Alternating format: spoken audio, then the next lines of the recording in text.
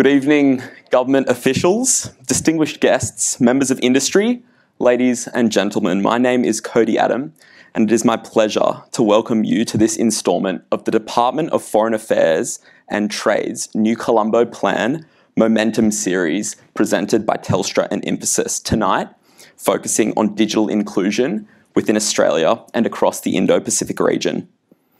This event is taking place on Gadigal land of the Eora Nation, and I'd like to pay my respects to the elders of this land, past, present, and still to come, and acknowledge their continual co- connection and contribution to land, water, and culture today. I'd like to extend this welcome to any First Nations people in attendance this evening at the beautiful Telstra Customer Insights Centre or online via our live stream. By way of introduction, I was fortunate enough to be a 2019 New Colombo Plan Mobility Grant recipient for Indonesia. I travelled to Jakarta while I was completing a Bachelor of Accounting in the Co op Scholarship Program at the University of Technology in Sydney. I'm now in the final semester of a Master of Business Administration and Entrepreneurship, also at UTS, and the co founder of Snack, which is a mobile first app that enables educators to create bite sized videos in a format that uses 98% less data than conventional video. It's an honour to welcome and introduce our distinguished guests and panellists this evening. Lyndall Stoyles is Telstra's Group General Counsel and Group Executive for Sustainability, External Affairs, and Legal. Lyndall has a passion for breaking down barriers and prejudices creating opportunities for inclusion, and building diverse teams, which has led, her, led to her involvement in organisations supporting the Indigenous community and asylum seekers.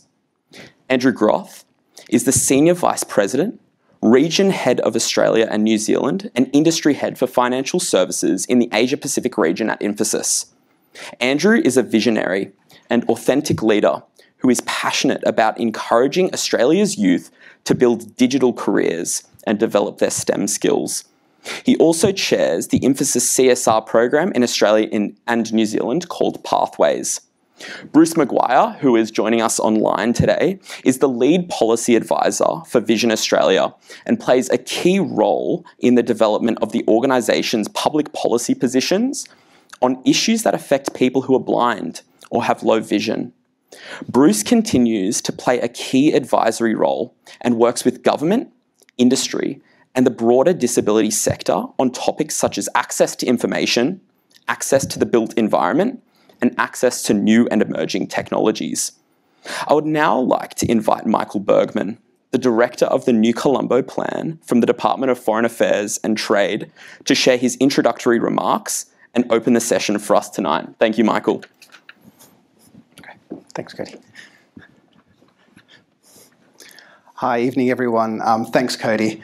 Uh, I'd also like to acknowledge the Gadigal of the Eora Nation, the traditional custodians of the land, and pay my respects to their elders, both past and present. As Cody said, my name is Michael Bergman. I'm the director of the uh, New Colombo Plan, uh, fantastic Australian government initiative, which I hope you all uh, know that already, uh, and a warm welcome to our NCP community here, uh, around the country, across the Indo-Pacific, including our NCP business champions, NGOs, business and academic partners, and of course, alumni and current scholars. Having been part of the NCP team for a number of years now, I've had the privilege of working with many NCP supporters who have worked tirelessly supporting and promoting the NCP program, as well as mentoring, nurturing, and very importantly, employing our NCP scholars and alumni.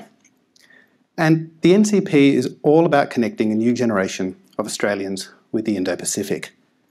We normally do this by sending scholars out to the region for long term immersive experiences and supporting Australian universities to deliver shorter term targeted mobility programs. Uh, and we have a vibrant alumni community, and again, great to see some of you here with us today.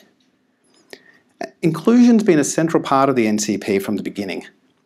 The NCP is for all young Australian undergraduates, and we work hard to support access to the program from students from regional, remote communities, low socioeconomic backgrounds, students with disability, just to name a few. But of course, we haven't been sending too many students out to the region lately, which is where momentum comes in. And the success of momentum in 2020 at the height of the COVID crisis is down to that invaluable contribution from the business community and academic partners and thought leaders who willingly share their knowledge, their expertise, and their time to support the NCP community and to support uh, the objectives of DFAT and the Australian government. So, again, thank you all for your support. And the contributions of Infosys and Telstra clearly demonstrate the value of collaboration between government, NCP, uh, and our business partners. Uh, so again, thank you to, to Lyndall and the Telstra team for your support uh, now. And of course, in 2020, um, and Lyndall, your, your contributions at the Beyond the Glass Ceiling panel discussion, uh, why we need more women leaders, is a session that's still talked about. We've still got lots of uh, interest in, in that and whether we're going to do something very similar soon. Thank you, Andrew, and all of the Infosys team for sponsoring 10 2021 scholars for the NCP, uh, the NCP Momentum series itself, and for investing valuable intellectual capital in supporting the NCP program. Um, and I'd also like to acknowledge the contribution, contribution of Bruce Maguire from Vision Australia. Uh, and it'll be great to hear about Bruce's rich, diverse, and fascinating experiences given his expertise on topics relating to access to information, access to the built environment, and access to new and emerging technologies.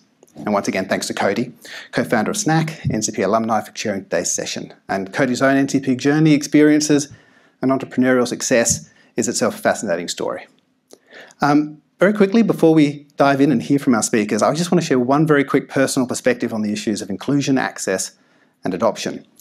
Uh, prior to uh, working for Foreign Affairs and Trade, in my early career, I worked for the Australian Electoral Commission.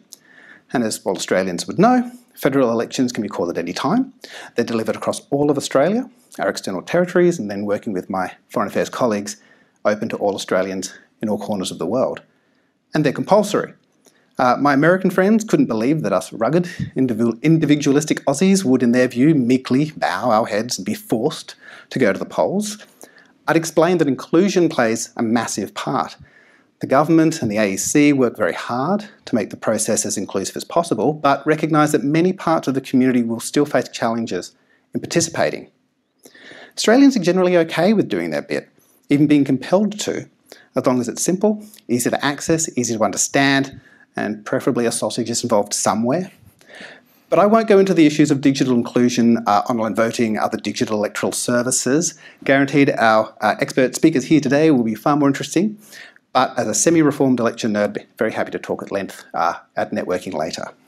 So without further ado, I would uh, love to welcome you all to our third uh, NCP Momentum session for this series, which promises to be another very exciting discussion. Thank you again, and over to you, Cody. Thank you. Thanks, Michael. Awesome. So to set some context for our topic this evening, I'd like to begin with a quote from Sir Timothy John Berners-Lee, who is the computer scientist best known as the inventor of the World Wide Web. As we move toward a highly connected world, it is critical that the web be usable by everyone, regardless of individual capabilities and disabilities.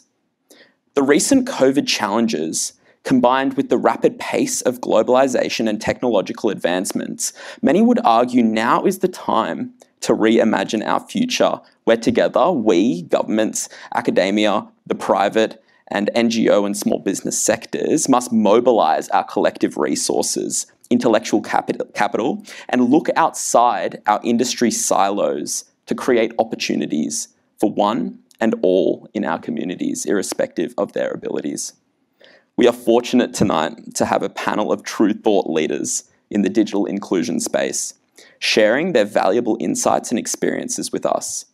There will be opportunity for questions following this discussion. And to begin, I'd like to ask you, Lyndall, if you would share your perspective on why it's important for corporates to focus on digital inclusion and how do corporates contribute to the creation of and then leverage Indo-Pacific ecosystem to improve digital inclusion as a whole.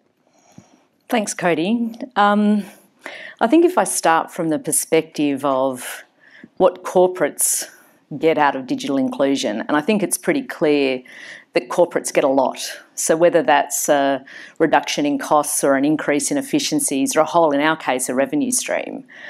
Um, and because we benefit so much from digital inclusion, I think that means that we should um, also think about the impacts and the harm that we can cause if we don't include everyone. And that's particularly relevant at Telstra, um, where our purpose is to build a connected future for everyone to thrive. And that's everyone. It's not just the minority, I'm sorry, majority. It's not just people who live in urban areas or people with particular skills. It's a purpose of trying to drive that connection so that everyone can thrive.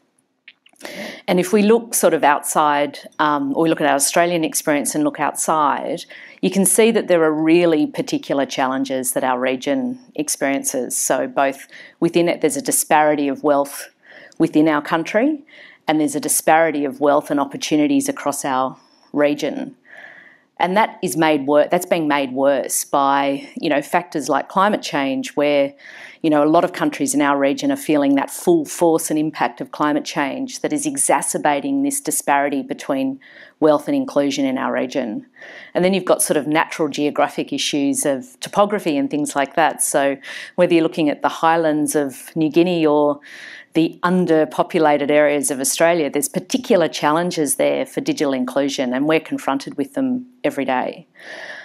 Um, so, what does that all mean? Um, I think it means uh, that we all have a role to play. Corporates absolutely have a role to play, but we can't actually do it on our own. We don't actually have all of the research, all of the information to do it on our own, but there are things that we do do. And I think our region presents while it's got those challenges, it presents real opportunity. Those challenges actually present really novel opportunities for us to explore solutions. And I'll give you just a few examples before I get cut off.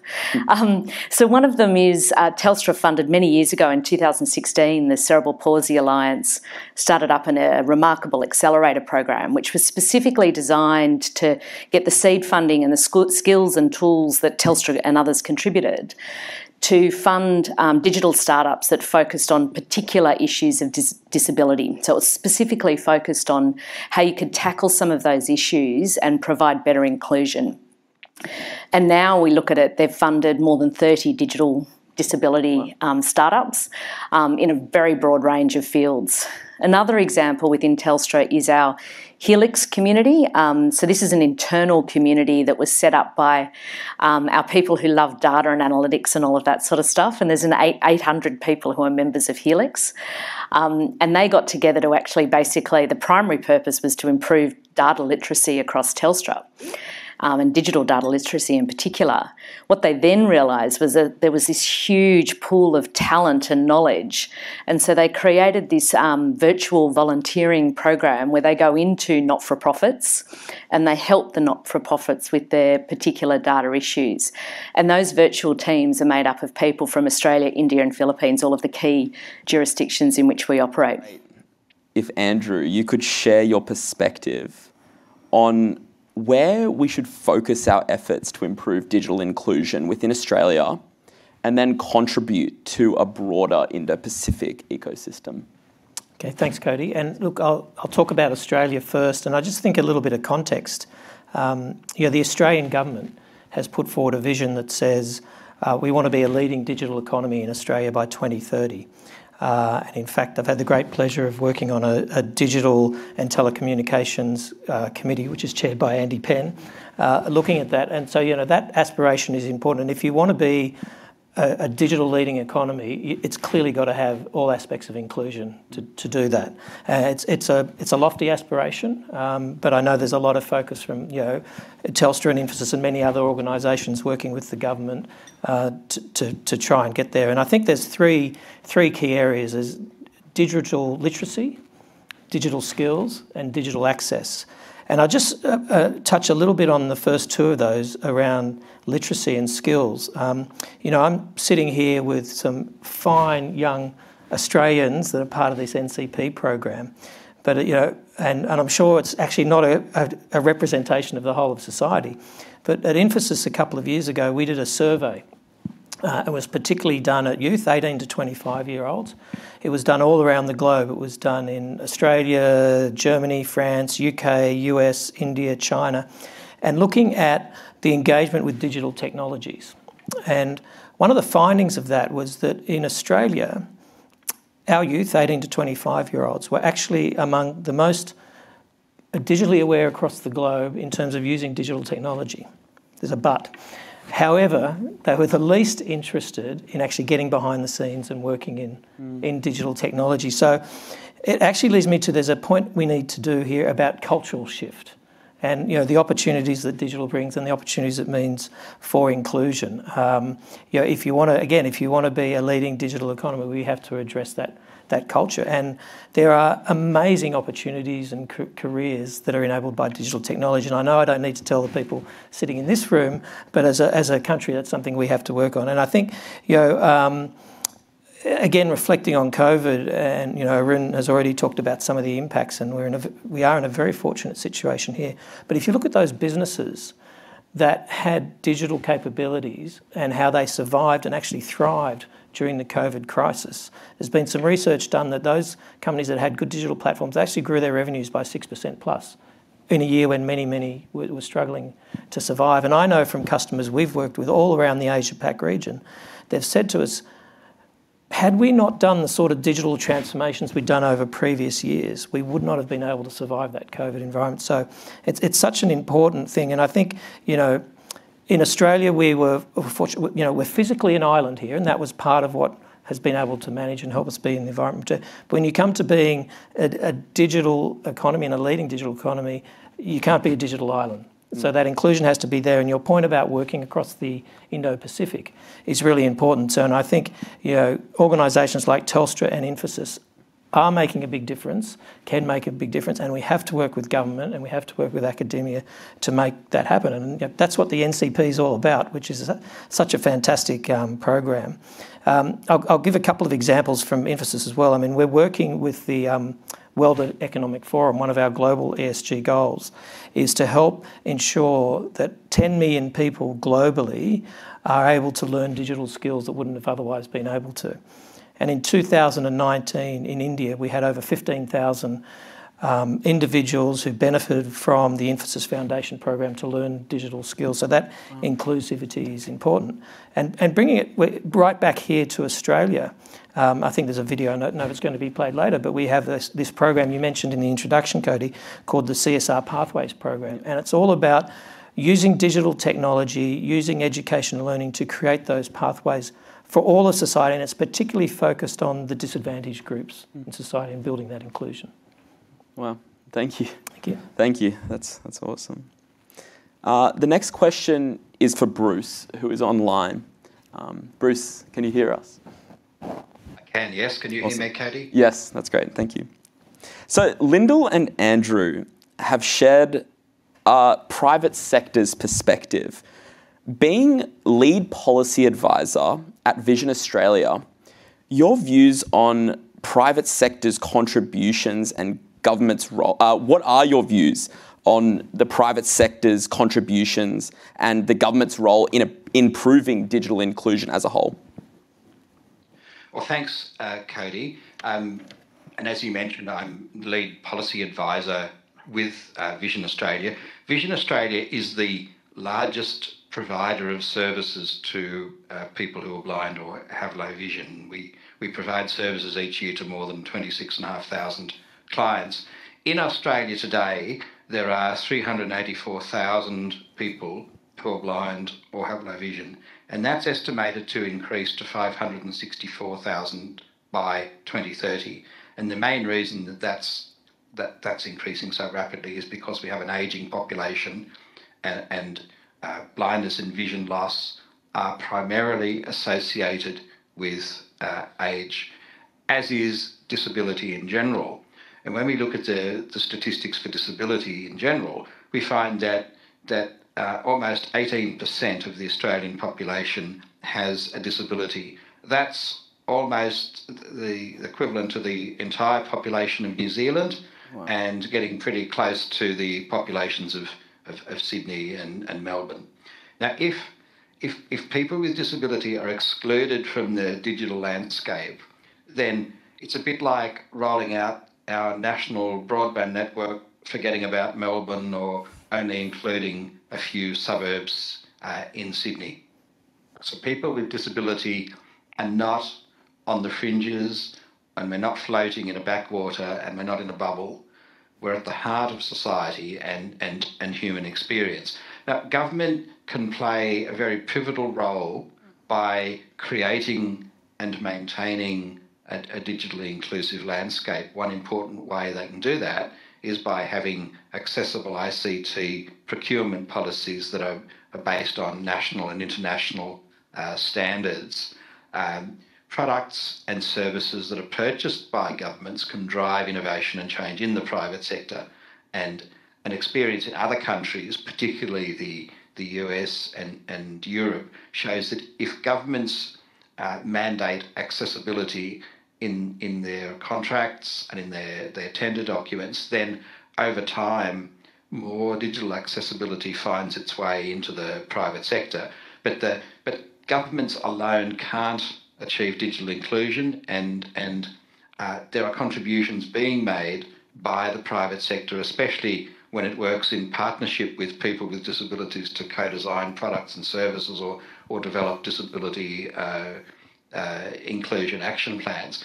We, we find that there's an increasing number of national and multinationals that are investing significant resources in, in benchmarking their products against uh, accessibility standards such as the uh, the Web Content Accessibility Guidelines, which um, Tim Berners Lee sort of uh, sort of spearheaded uh, back in the back in the late nineties, and and in fact they're, they're making important contributions to the development of, of those standards because they recognise that uh, digital inclusion benefits all of us and excluding some sections of the community will ultimately have a negative impact on all of us.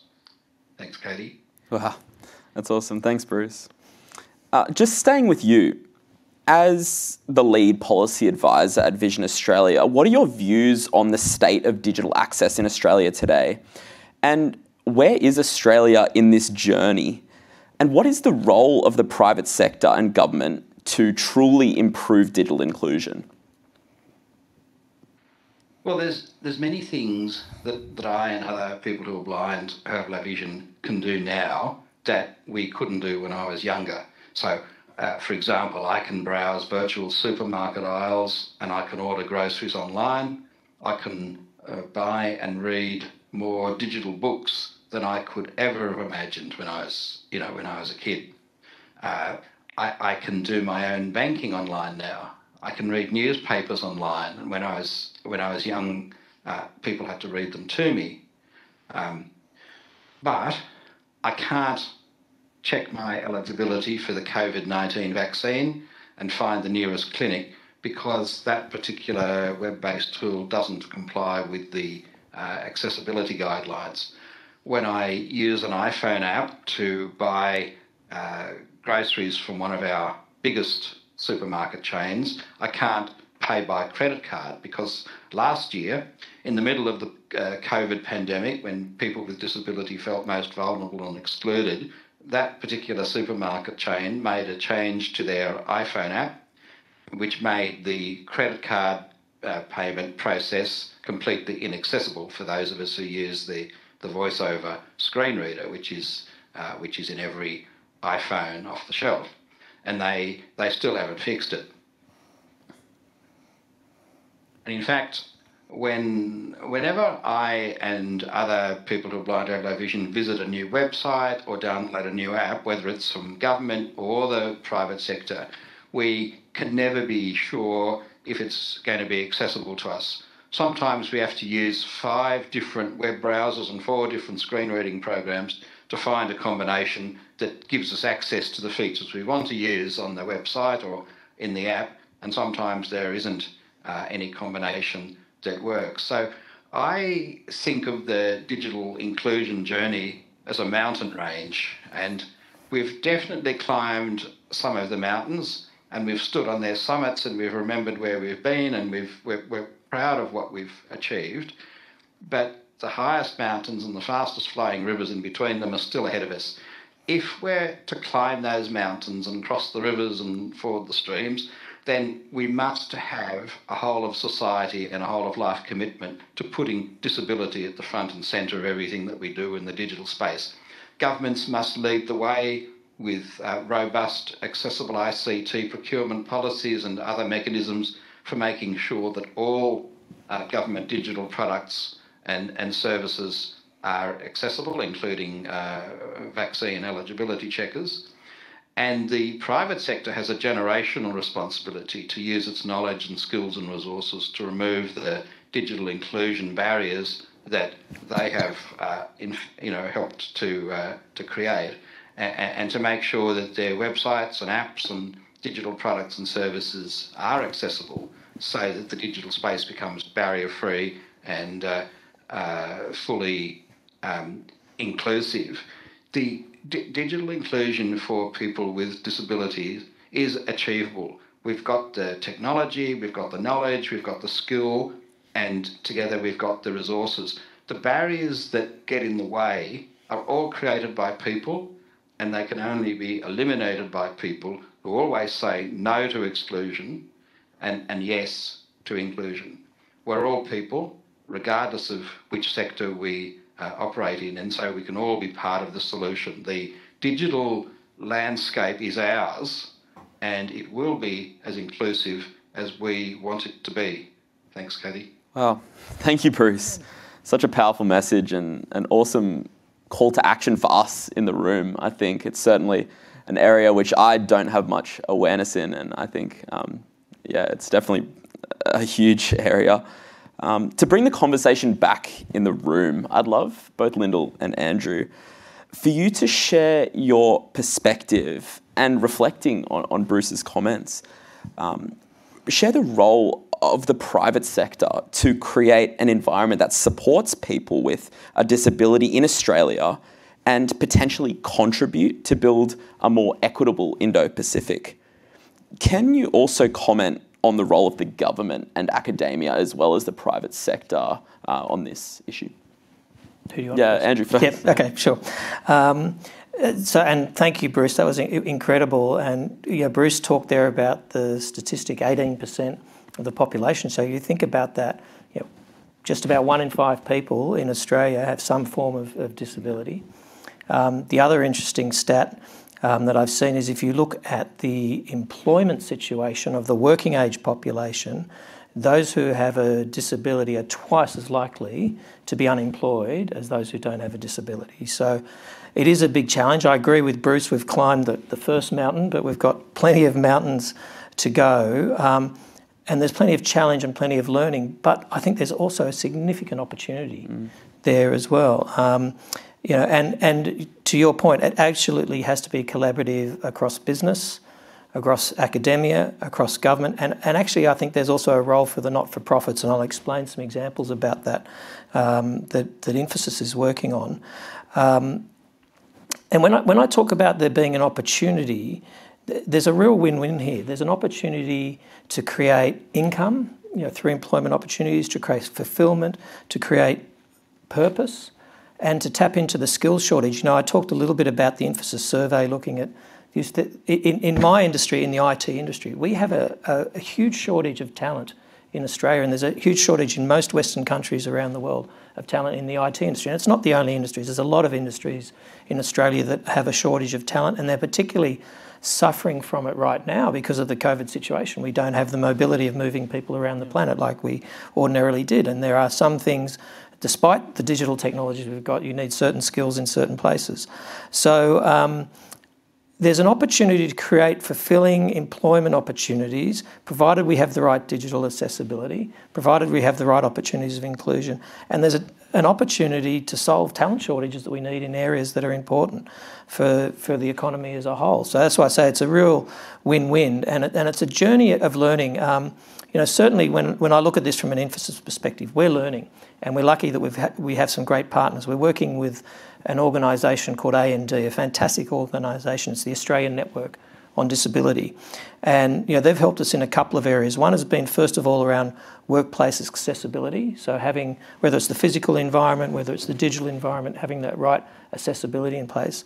And the second is, and you know, Telstra uh, and Infosys, uh, as far as I know, there's 11 companies in Australia that are, have been um, credited as disability confident recruiters. Mm. So that whole process of how do you create those opportunities for, for disability is, is important. Um, and a good example we've done, we have employed a number of high end autism spectrum candidates who are the most outstanding young men and women who are working at our customers in really important roles. They bring fantastic skills. But if you, if you looked at that group and you went through an, an, a traditional recruiting process, there's no way they could. Mm. It doesn't work. It doesn't work. So you have to adapt it. You have to have different ways of assessing skills and fit and what's suitability. But then the skills that, that these young adults have brought have been absolutely fantastic working in our quality engineering, in our test, testing areas. Um, so that's the, that's the opportunity to me. It's, yes, challenges, learning to go, but there's a big win-win opportunity. Yeah. And it's interesting, you, you say there's almost this mark that you put the, the accreditation that your organization to be a leader in industry. And I think that's something that all organizations should look to to become accredited, um, that they are they provide opportunities in a fair way, um, and that's that's admirable. Yeah. Yeah, and I think and, and you know. It, yes, it's great to have the accreditation, but actually, what it is, it's that learning journey. Yep. How do you take the journey to get from the first mountain that Bruce spoke? How do we go from Kosciuszko to Everest? Mm. You know, it's a learning journey. Thank you. Awesome. Uh, Lyndall, would you like to expand? Yeah, sure. Thank you. Um, and I'm, I'm still stuck on uh, Bruce's analogy as well of the mountain and the river. Yeah. It says it says so much. Um, and when I think about it from Telstra's perspective, we're seeing absolutely enormous growth in um, digitisation across the economy, and that is just absolutely only going to accelerate even more. Um, but we are seeing, as, as, as the other speakers have mentioned as well, sort of pockets of Australia and the region that are just not excluded, and that's, that's actually not getting better, it's getting worse. Um, and one of the things that we have done is because there are so many things out there, what we wanted to do was to get um, really good data, really good research into how we could actually make the great have the greatest impact. And many years ago, we started funding um, some research that's produced with, by, RMIT and Swinburne universities. Um, they produce this report each year, the annual Digital Inclusion Index. And what it does, it's slightly different to the metrics that you mentioned, Andrew, but we assess digital inclusion on the basis of um, access, so digital access, um, digital affordability, um, but also digital ability, and that is that actually having both the physical ability that Bruce mentioned, but also um, the um, literacy, I guess, if you like. I think it picks up your literacy point.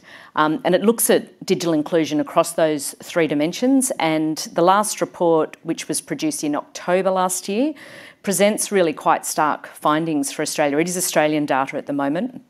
That provides an opportunity in itself. But if you take some of the stats, um, 2.5 million Australians are not digitally connected. So that's one in 10 Australians. Wow. If you look at cohorts, um, of kids out of uh, low, low, really low income homes, 800,000 secondary, stu- secondary school students are not digitally included. And that can be one of those three reasons. Either they can't, their families can't afford it, um, they don't have access because um, they live in areas that are either remote and not connected, um, or they can't afford to be connected, um, or they don't have the ability to actually use the connections that they could otherwise get. It's an extraordinary number of students, really, when you think about it. Um, the other group, and there has been some slight improvement in this group, thankfully, but the other group, as of October last year, was um, the over 65 year olds, who are the least digitally included group in Australia, and that um, presented some real challenges for them when we saw a lot of Australia go into, you know, isolated living conditions, and you had, you know, a significant number of them. It was actually one in five of them um, that weren't digitally connected. So what we've done is we take that research and we try and design some projects around that. Once again, these projects at the moment are only Australian based, but I think there's an opportunity there. And to give you a flavour of some of the projects, we've got um, Access for Everyone, which is a project that supports people suffering financial hardship. Um, we have a program called Safe Connections, which supports women and children who are experiencing family and domestic violence.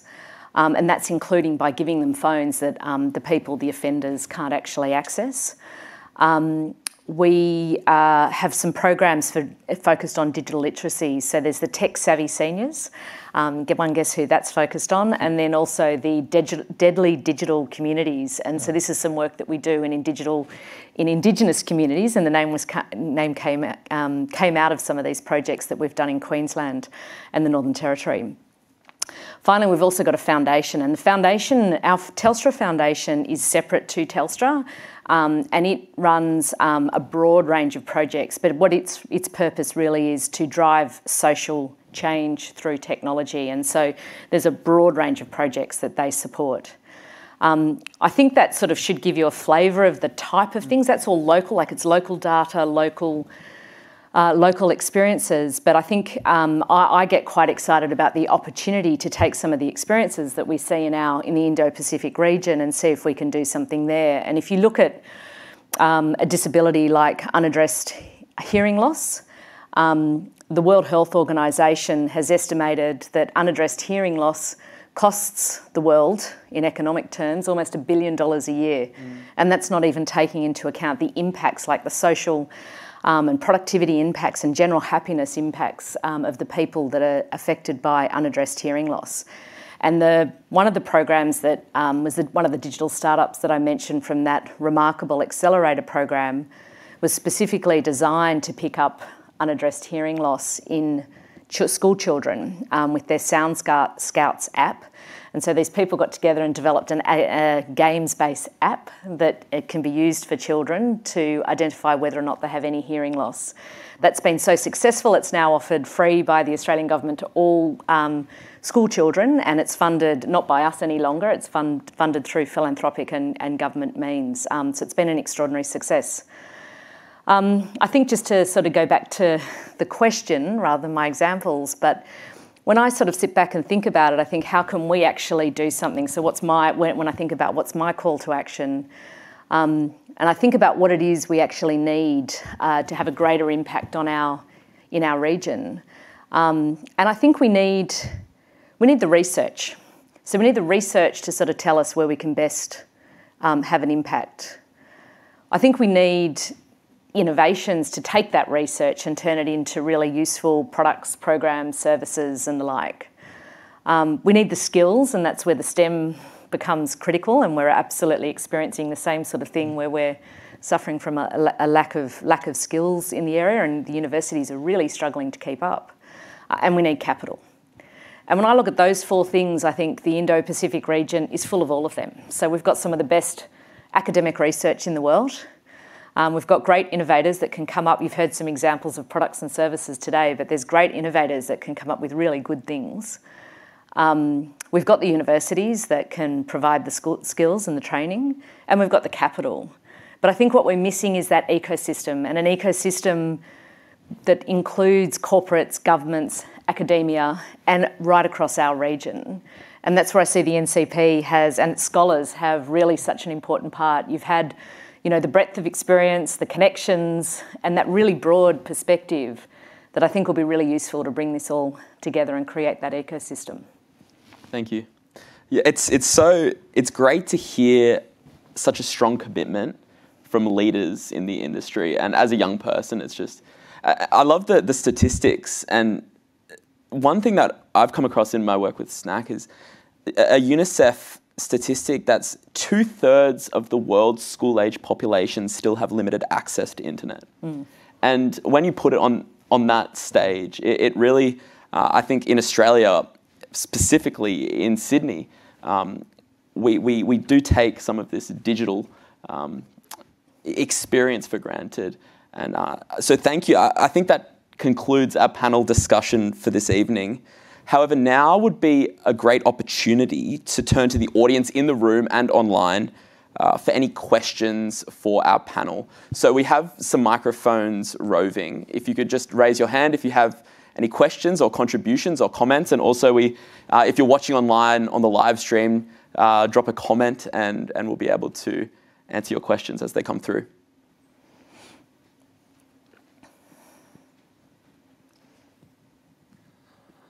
Hi, thank you for uh, the great panel discussion. My name is Johnny, and my question revolves around how we can create, uh, I guess, grassroots change alongside institutional change. So we've sort of heard from Telstra and Infosys about the various things that we do on the institutional level. So where we do have access to that amazing research, the resources that go into this sort of thing. Looking at all the people in the room today as well, I'm sure there's a lot of people out there that might not necessarily come through institutional channels, but would also like to contribute towards digital inclusion. What are some, I guess, of your call to actions for them? What can they be doing to be part of this movement? Um, thanks for the question, Johnny. I think one of the one of the things about grassroots, and you're right, you know, some some of this can come through large institutions. Some people don't work with large institutions or they're not involved. Um, and I mentioned before that um, to me, it's, it's it, there's business, government, academic, but also the not-for-profits as well. And I think something that you know has always been a, a grassroots of what we do in, in an institution has been the aspect of volunteering, and I think that can be done through some of the not-for-profit organisations, so at a grassroots level. And I think one of the greatest um, things, and you know, some of our got a number of Infosys people sitting in the room here who've been involved in it, is mentoring. And you know, you've all had uh, tremendous experience over the last couple of years um, to find that situation where maybe you can go and help someone who's you know a disadvantage, got less opportunities in that, and to help mentor them along the way and just share your experiences and help them think it through. I think that's one way of you know sort of grassroots um, help that can be done. And the other is the thing about inclusion and the, the comments I made before about culture. It's it's a mindset, and it's a mindset. Um, that we need to grow in our society to for people to understand. You know, yes, there's some challenges, but there's a big opportunity. As, as Bruce said, people are people. You know, regardless of what they've got. So I think you can you can help with the, the mindset and the culture shift. You can help with with volunteering and and potentially help with mentoring, and that can be from anywhere. You don't need to be part of a big institution to do any of that. I might just check, Bruce. Did you have any comments on that particular question? Yeah, look, I, I, I, I think that that's that, that's uh, that, that's that's right. But I, I think one of the one of the um, really great things about the kind of technology that's that's that's coming through now, and in fact that, that we have now, is that uh, anyone can try it. So if you have uh, an iPhone, if you have an Android phone, you can experience what it's like to use uh, the voiceover screen reader or what it's like to use the, the you know the screen magnification um, sort of software in the in the phone because because there is a you know screen reader voice, uh, uh, the voiceover screen reader in every iPhone that you buy uh, sort of off the shelf. So the more people that the more people that try those things just to get a, just to get a feel for you know for what it's like, then the more likely it is that when you know when they develop apps, when they develop websites, they'll be thinking about well, how how someone who's using this voiceover screen reader going to access going to access um, you know my you know my website or my uh, or my app. I think the other the other thing is to to have that inclusive um, inclusion you know mindset, inclusive design. Um, any any products and services that you're involved with designing, ask about inclusion. Give some thought to how how how are the diverse range of people that that, that make up our, our society going to you know going to use those things whether it's a whether it's an app whether it's a website or whether it's a you know whether it's a product. The organizations that you you, you work in certainly um, inclusion inclusion has to be you know embedded into the you know into the corporate culture and that can be done from you know from the top down, but it can also happen from you know from the, the bottom up. So I, I think for me the, the, the, the key thing is to start thinking inclusively and and apply that thinking to everything you do. Thanks, I think, Bruce. Johnny, the only thing I'd add, and it picks up on something that Bruce just mentioned, um, slightly different language, but I'd also give us a nudge. I'd keep giving us a nudge. I think corporates and governments, for that matter, um, are surprisingly uh, conscious of what the community thinks and says. So I wouldn't give, give up on giving us a nudge in the right direction with your great ideas. Thank you. Are there any other questions from the audience?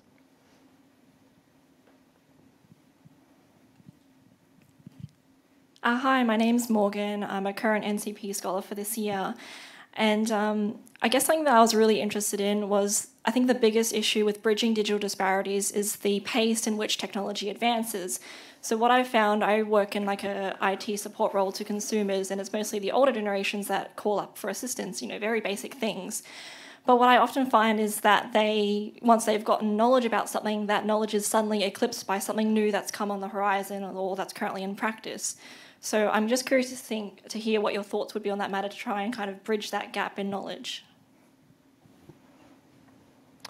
Uh, sure, Lyndall. There you go. Okay, um, Morgan, thank you. Um, and look, I, I recognise the point you pick up on. It's um, a good one. And I think you you talked before about the over sixty five yep. age group, and, and you're right. You, you just get to learn how to use something, and then a new version comes out, and you're completely lost. Um, and yeah, actually, the, the, comment I was I was making before about mentoring, I was more thinking about that, but um, actually helping some of the over 65s and group with that is something that, that we can all do. But this thing about technology constantly evolving, it, it, it's very real. And everyone, um, all of us, I mean, even at Infosys, um, one of the things we're doing with our technology is, is constantly relearning and reskilling. Um, I talked before a little bit about our program um, called Pathways. And actually, what it's doing is using technology and a heritage of learning capabilities to help create small, bite-sized, and you talked before about bite-sized thing, um, education opportunities for people to learn. So we're using that to reskill our organisation because technology changes. We're working with a lot of our customers to help those customer organisations reskill, but that's also part of that that CSR program and that initiative to help others is to relearn education. Um, now, that's for the more we have digital skills and a digital culture, and you know, getting, as I said before, getting behind the scenes of technology as a society, the more that problem will start to be dealt with. But I do recognise, particularly with the older generation, and I think that's something you know we should we should help the older generation with. It's not an, not an easy challenge um, versus all of you who've grown up as digital natives.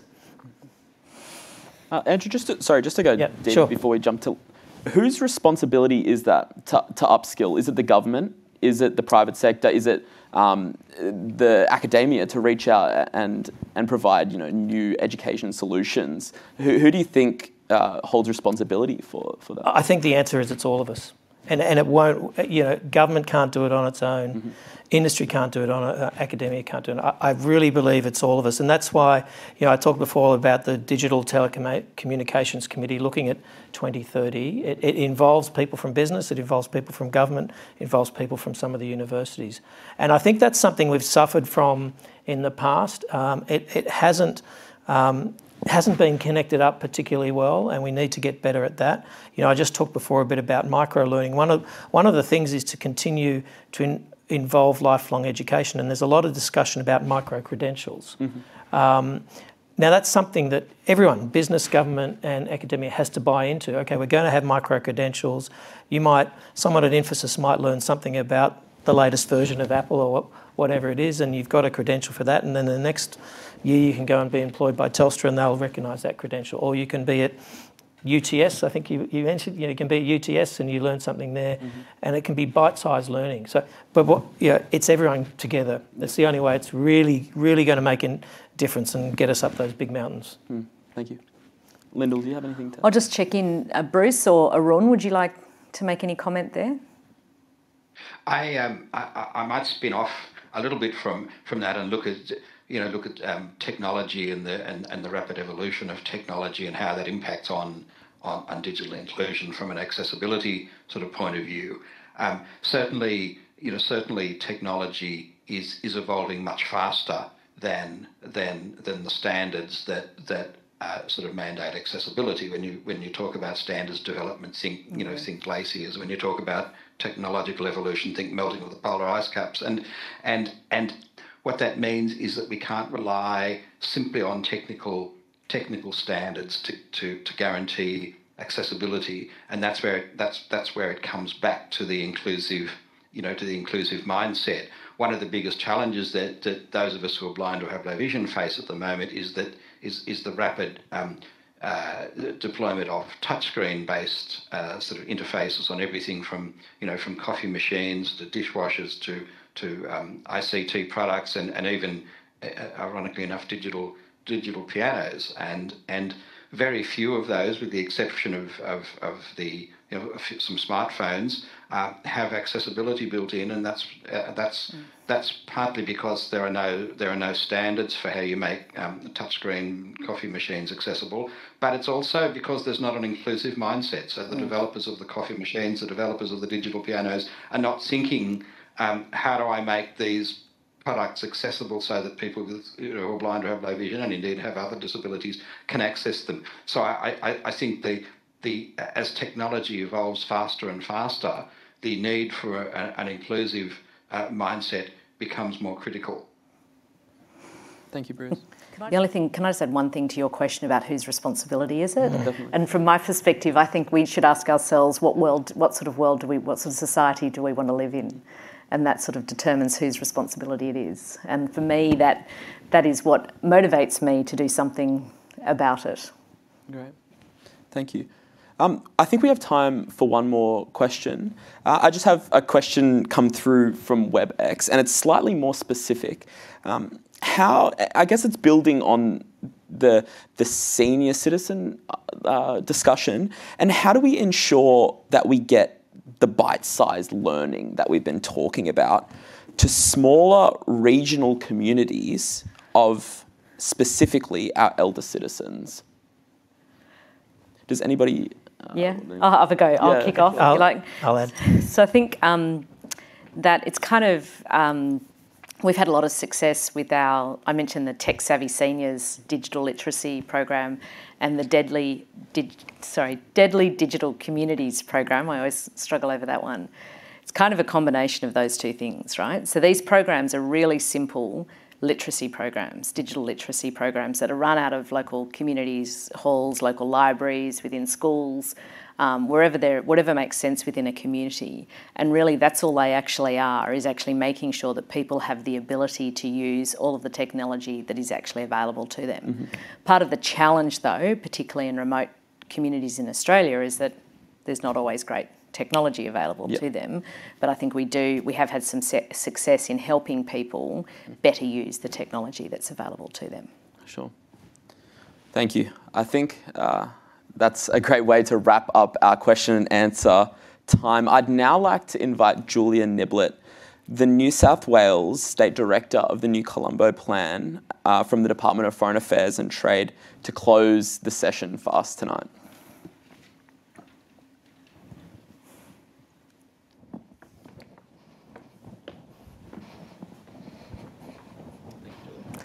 Thank you very much.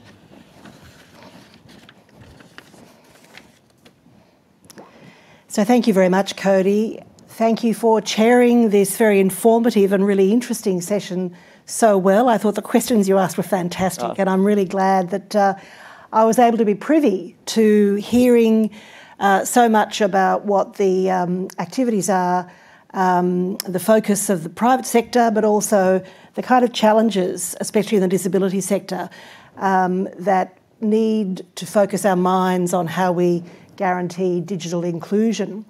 So I want to thank our guests, our sponsors, and the NCP community for your attendance today. And I just want to say, on behalf of the Department of Foreign Affairs and Trade, um, thanks in particular to the panelists. Um, your contributions were great, and I also want to thank you in particular for your commitment to supporting the NCP Momentum um, series. Thank you so much for that. To Lyndall, Lyndall Stoyles, who's the Group General Counsel and Group Executive of Sustainability at Telstra. Uh, Andrew Groth, Senior Vice President, Region Head Australia and New Zealand, and Industry Head Financial Services Asia Pacific Infosys. That's a big business card you need for all of that. And you got a digital one, perfect. And to Bruce Maguire, Lead Policy Advisor, um, Vision Australia, uh, New South Wales. Um, I really was struck by a couple of things that were said. Lyndall talked about opportunities in the region uh, that we call the Indo Pacific. And I just want to mention to you all that I returned to Australia last year from my role as Australia's High Commissioner to Bangladesh. I was very proud in that role to promote Australia's engagement in the area of digital inclusion, and we did that in a number of ways, but in particular, we supported a lot of programs for women and girls, digital literacy and digital inclusion for women and girls. So DFAT funded, for example, the development of an app uh, to provide information on emergency services that were available for women victims of acid violence. It's a terrible thing that happens in South Asia, but we helped develop this app that provided information as well on e-clinics for medical, legal and psychosocial support to acid burn survivors. And that was a great example of innovation and it provided a lot of support to, to victims. We also worked very well with an NGO called Girl Effect that's run out of the, uh, the UK, you may have heard of it, to develop mobile research technology.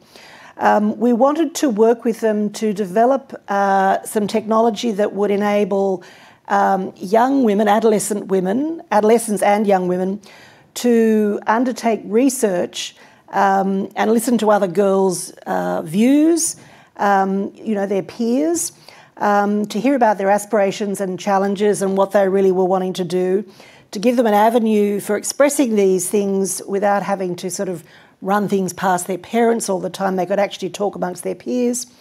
Um, and it was a great thing to have these technology enabled girl ambassadors go out to young women in the community. We also supported the strengthening of institutional capacity uh, using technology to support a lot of people with, um, with limited abilities. Um, but also, digital literacy is so vital uh, because of its value in uh, managing businesses and working through e commerce and really sharpening some of the opportunities for women entrepreneurs and, in particular, women farmers. Uh, and so, being able to be part of this digital skilling up was really uh, transformative. Um, here in the DFAT New South Wales State Office, and I've got some of my colleagues here tonight, uh, we're very keen to build working relationships, um, not just with the private sector, of course, that's really important to learn a bit more about what you're doing, but also to develop those relationships with NGOs such as Vision Australia. Um, and I was particularly struck by uh, uh, Bruce's commentary, and I thought your um, focus on um, inclusive design and innovation was a lesson for all of us those that provide services, and it prompted me to think about some of the services that DFAT provides, but also other government agencies, how we need to always have um, an inclusive uh, approach to design. Um, but we also are really glad to build connections to uh, support NGOs that are involved in similar sorts of community projects um, and to identify those that could be useful to connect with or be of interest to the NCP community.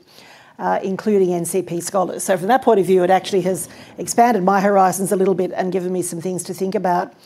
Um, I really liked um, Andrew's reference to um, opportunities for mentoring and for uh, volunteering, which I think is a fantastic um, suggestion for all of us. Um, and I guess I feel a bit reassured about the pace of change of technology, that it isn't just me that has to think all the time about having to learn new skills and upgrade things, but I'm very encouraged by the fact that not only is it a reality for everyone, even in the profession, in the industry, but also that you have strategies to help people um, snack on microbites of uh, new knowledge that helps uh, everybody become more um, um, better functioning, better users of digital uh, technology. So I hope you all found the session as interesting as I did. I found it really exciting and I was really pleased to hear your views. I'm wondering if I could ask you all to please join me in thanking our panellists and our subject matter experts for sharing their insights and for sh- showcasing their digital inclusion projects that they continue to invest in and support, both here in Australia and overseas, and to thank Cody in particular for great chairing and great probing. I thought that was fantastic. So please join me to thank everyone.